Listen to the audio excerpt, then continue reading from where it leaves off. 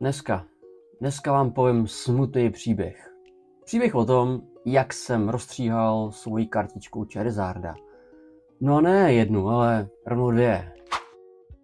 No totiž, jak asi někteří z vás tušíte, v roce 99 nejeli jenom krásný trading card game karty, ale taky Tops a Tops Chrome. No a jak asi už někteří z vás tušíte, tady k tomu krasavci a tady tomu krasavci jsem měl i jejich staršího brášku. Jo, Charizarda jsem měl taky. A jak dopad?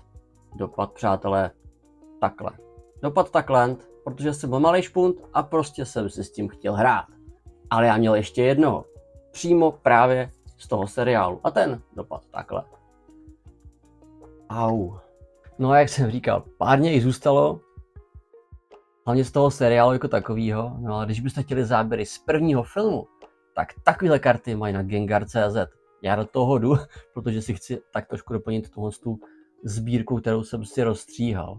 Já vám totiž povím ještě jednu záludnost z původního sbírání. Ty karty se tak dobře neskladovaly, jako dneska. Tady vidíte Charmeleona, tady Broka. No totiž byly v albu takhle u sebe. A jak si můžete všimnout, odtrhnout je dneska. Je celkem problém. Teď jsem měl poměrně štěstí. Teď jsem měl štěstí, ale měl jsem karty, kde tady zůstal krásný bílej flek, jak byly u sebe x let nalepený. No a to bude tématem jednoho z dalších videí.